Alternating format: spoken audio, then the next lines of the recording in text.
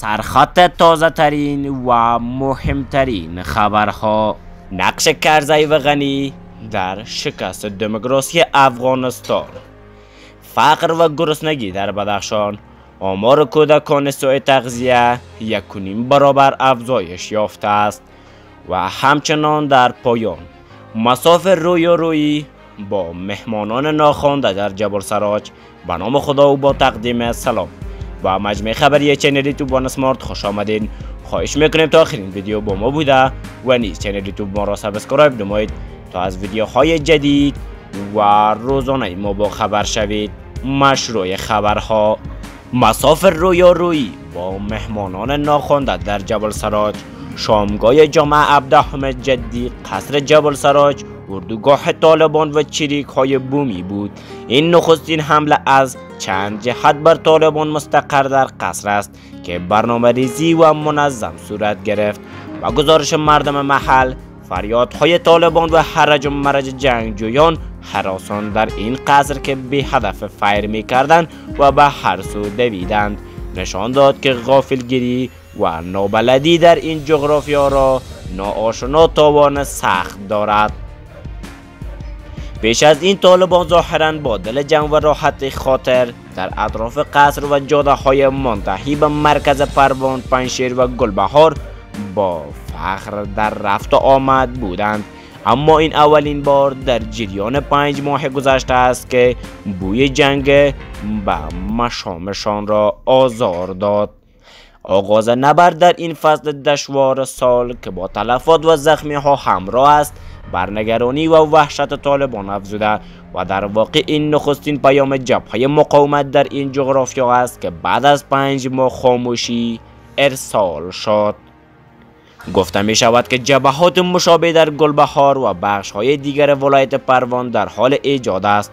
آن سوتر مردان مقاومت در اندراب ها خواب را بر طالبان سرام ساختند.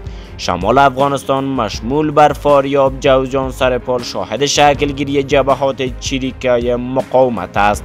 طالبان اما تنها راهکاری را که به آن رو آوردند تبلیغات میان تحیی است. گاه با رژه نظامی و نمایش کندک های انتحاری و گاه با انتشار گزارش حمایش جنگجویان یونیفرم پوش در شمال افغانستان از طریق رسانه ها تحت تاثیر خود تلاش می کنند افکار آمه را به سود خود معطوف کنند. اما این نیرنگ تا کجا ادامه خواهد یافت؟ تجربه چهل ساله جنگ مردم را تا حد آگاه ساخته است که به قول صدیق افغان می‌دانند که گنجشککی که بر فراز جاده در پرواز است مذکر است یا معنیس تا کنون این خبر از سوی منابع رسمی امارت اسلامی تایید و یا رد نشده است. نقش کرزی و غنی در شکست دموکراسی افغانستان. روزنامه هشت صبح کابل. با سقوط حکومت اول طالبان خورشید آزادی و مردم سالاری طلوع کرد. افغانستان بعد از یک دهه جنگ و خونریزی استبداد و سرکوبگری صاحب قانون اساسی مدرن و ارزش های حقوق بشری شد و غنچه امید مردم برای دولت استبداد و سرکوبگری صاحب قانون اساسی مدرن و ارزش های حقوق بشری شد و غنچه امید مردم برای دولت شهروند محور شگفت. برنامه های اولیه با شعارهای مشارکت عادلانه سیاسی و مردمی کردن قدرت با شوق و همکاری در راستای تقویت یک نظم دموکراتیک به پیش می رفت.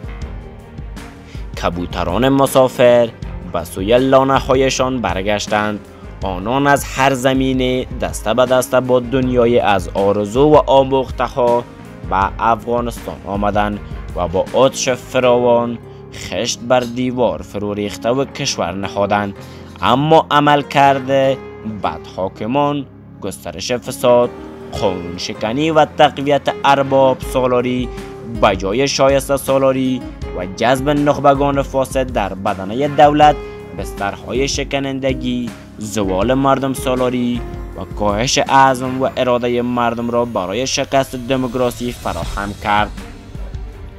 در این میان نقش دو رئیس جمهور به عنوان دو بازیگر کلیدی برجسته تر از همه کنشگران سیاسی است که در میدان سیاسی برای این دو یارگیری می کردند حامد کرزی و اشرف غنی دو زمام داره و سابون طلایی ترین دوره تاریخ افغانستان را با ذهنیت های قبیله و عشیره خیش هدر دادن فرصت های توسعه نظم قانون و تقویت فرهنگ مردم سالاری و زمینه های مدرن سازی نظام آموزش و تحصیلی را گرفتن و شکاف های قومی را عمیقتر و آشفته فروخته سیاسی قومی را شعارور کردند.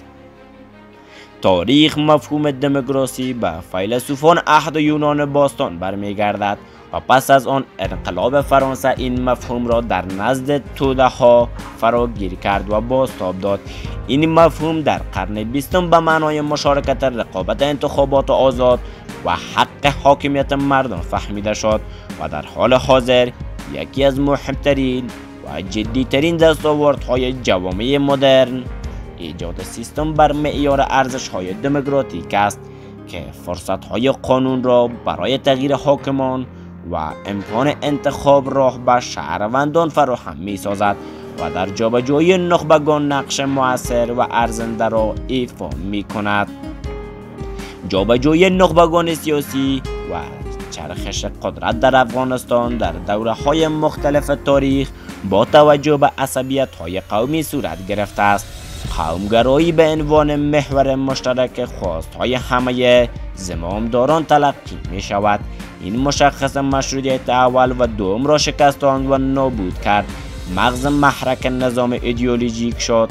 چپ و راز در دامنه قومیت سقوط کرد و نظم دموکراسی لیبرالی نیز در گودال قومیت فرو رفت و حاکمان قومگرا آخرین میخ را بر تابوت دموکراسی نیم جان افغانستان زدند از سوی دیگر نگاه مسلط در جامعه افغانستان این است که مرگ دموکراسی کشور به دست تفنگ داران صورت گرفت. با تشکر که تا آخر این ویدیو با ما بودید. برای مشاهده ویدیوهای بیشتر channel YouTube One Smart را subscribe نمایید تا از ویدیوهای جدید و روزانه ما با خبر شوید. برای حمایت بیشتر کانال ما ویدیوهای ما را like subscribe و کامنت نمایید تا ما بتانیم برای شما بهترین و جدیدترین ویدیوهای روز را به نشر بگذاریم. ما برای شما بهترین و جدیدترین ویدیوهای روز را به نشر خواهیم گذاشت. های جدید.